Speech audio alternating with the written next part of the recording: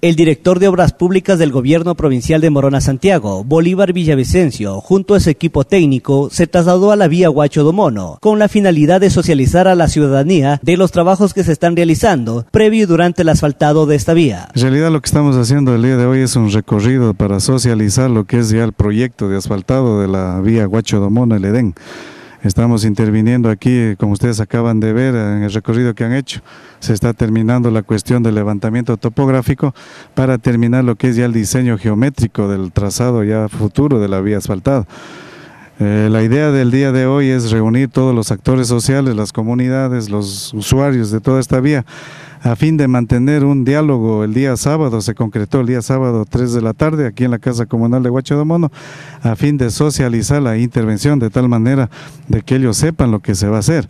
Celso González, en representación del INIAP, manifestó estar dispuesto a colaborar en lo que sea necesario con estos trabajos que benefician directamente a la ciudadanía. Hemos recibido la visita de los delegados del Consejo Provincial, eh, en donde se nos está dando a conocer la socialización para la ampliación y readecuación de la vía Huacho-Domono.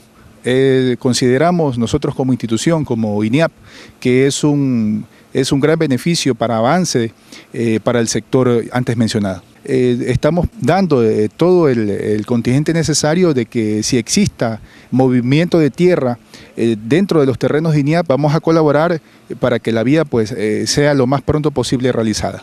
Por su parte, Darwin Rivadeneira, presidente del GAS parroquial de San Isidro, solicitó la colaboración de los habitantes para el desenvolvimiento normal de los trabajos a realizarse. Estamos haciendo ya la socialización para poder ya hacer las adecuaciones eh, y para colocar la carpeta asfáltica en esta vía tan importante. Fue un ofrecimiento por parte del prefecto y yo creo que el señor prefecto ahora lo está cumpliendo y la gente está confiando en él porque sabe que todos estos procesos, todo el compromiso que él ha hecho, lo está cumpliendo a, feliz término. En el proceso del asfalto, el beneficio va a ser para cada uno de ellos. El día sábado vamos estamos planificando con el presidente de la comunidad de Domono para hacer una socialización con todas esas personas que están junto a la vía y de esta manera poder eh, construir, construir, de la mejor manera y no tener inconvenientes en el transcurso de la obra.